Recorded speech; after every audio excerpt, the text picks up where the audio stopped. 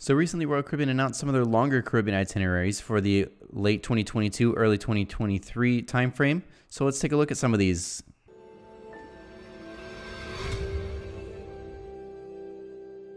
What's going on, everybody? My name is Brandon. If you want to stay up to date with the latest cruise news, make sure you subscribe down below and hit that notification bell to be notified every time we upload a new video.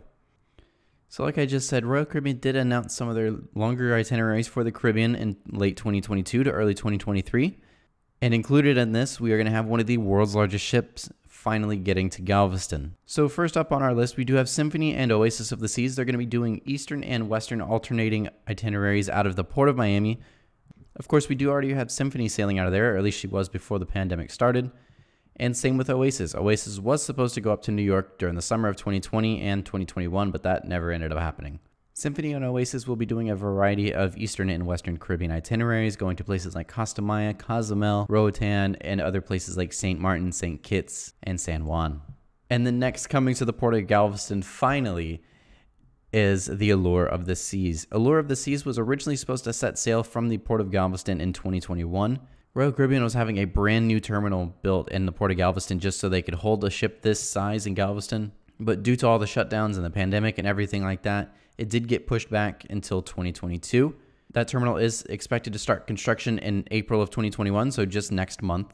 And then that terminal will be ready for Allure of the Seas in late 2022. Of course, with Allure of the Seas being in Galveston, Texas, she is going to be doing Western Caribbean itineraries from there.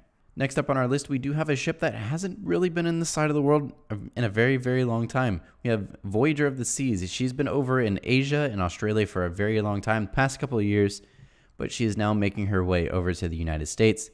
She is going to be doing a little bit of time up in uh, Canada and New England, but and then for the winter 2022-2023 timeframe, like we're talking about in today's video, she'll be calling San Juan home, San Juan, Puerto Rico. She's going to be offering seven night Southern Caribbean itineraries from San Juan, going to places like St. Lucia, St. Kitts, and Barbados. And definitely a lot more because there's so many islands that can go down there, but that's just a couple of them that I could think off the top of my head. Harmony of the Seas will continue her time over in Port Canaveral. She currently, at least before the shutdown, was homeported in Port Canaveral. She was expected to go over into Europe in 2021 because of a, you know, their five-year dry dock schedules. Every cruise ship has to go into a dry dock every five years, whether it's maintenance, just general maintenance, or it's these big extravagant, as Royal Caribbean calls it, amplifications. But in late 2022 into early 2023, she'll be homeported again like normal in Port Canaveral. Next up on our list, we do have Serenade of the Seas. She's going to be the third ship in Tampa this during this season.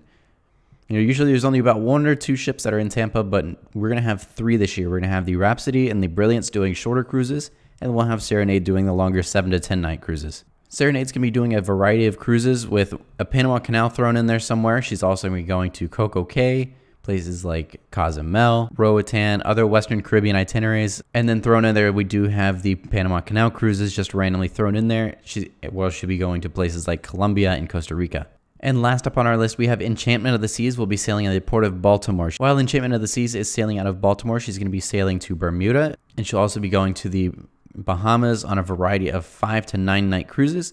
And during the fall, she's actually be going up to Canada, New England, doing uh, New England cruises. So that's really, really cool. So that's going to be all for today's video. What are your thoughts down below? Which ship are you most excited to see in these new home ports or different home ports? Or are you excited that your ship is staying in the same one? Let me know in the comments down below. If you did enjoy today's video, make sure you leave a like. And if you don't already and you want to stay up to date with the latest of cruise news, make sure you hit that subscribe button down below. Thank you so much for watching, and I'll see you in the next video.